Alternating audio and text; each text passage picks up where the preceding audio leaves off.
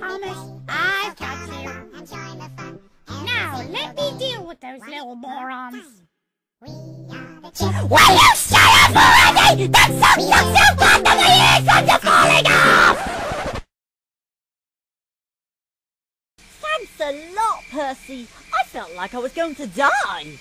But there's still one more thing. We still have to find a way to stop the Preggy Club. Let's go into their hideout and try to find out.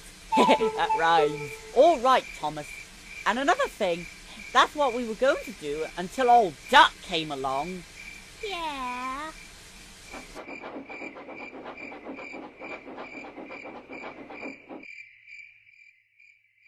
Oh my god! Looks like they've pranked almost every single engine on the island! Yeah, but look!